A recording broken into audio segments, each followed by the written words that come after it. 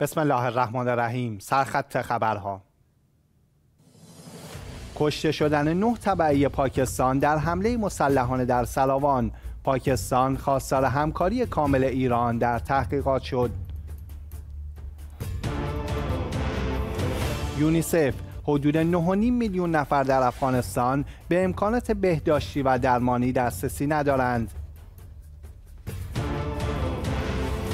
و آیت الله العظما شیرازی معنای عالمه غیر معلمه این است که علم حضرت زینب سلام الله علیها علم استثنایی بوده و همانند علم متعارفی که دیگران از کودکی از معلم فرا می‌گیرند نبوده است.